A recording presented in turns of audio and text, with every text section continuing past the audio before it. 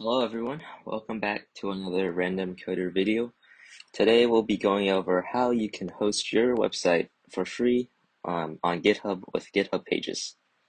So the first thing that we want to do is we want to head over to repositories and then we want to create a new repository which will host your code for your website.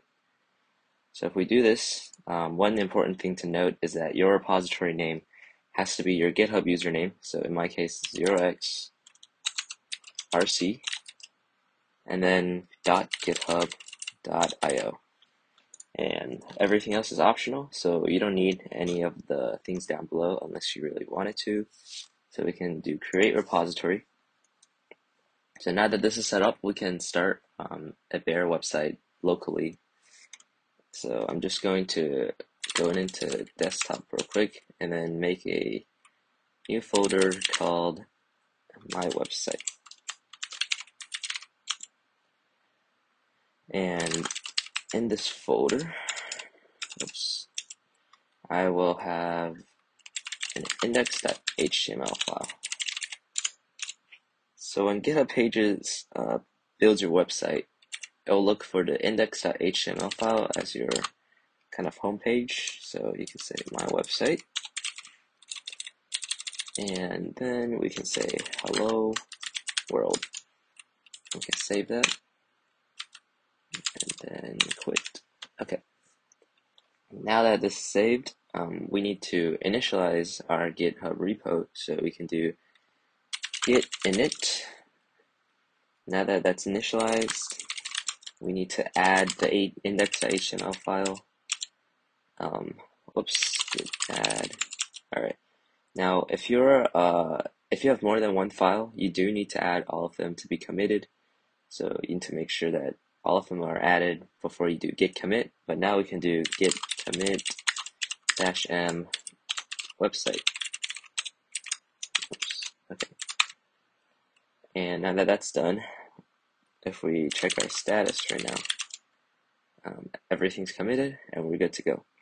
So now we can check out our main branch. And then we need to link our uh, remote origin to this link right here, or whatever your GitHub link is. So then the local one can point to the remote one. So git remote at origin. https github.com slash 0xrc slash xrc.github.io. Now that that's done, um, we can push our change onto GitHub. So git push dash u origin main. If you do that,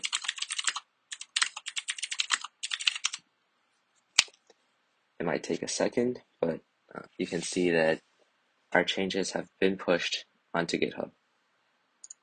And now, if you head over to GitHub and refresh the page, you should see that our commit has been committed and there's an orange dot here. What this orange dot is, is that's actually a GitHub action um, and it's just building your page right now. And then once this build finishes, there will be a pending environment that um, GitHub will try to deploy.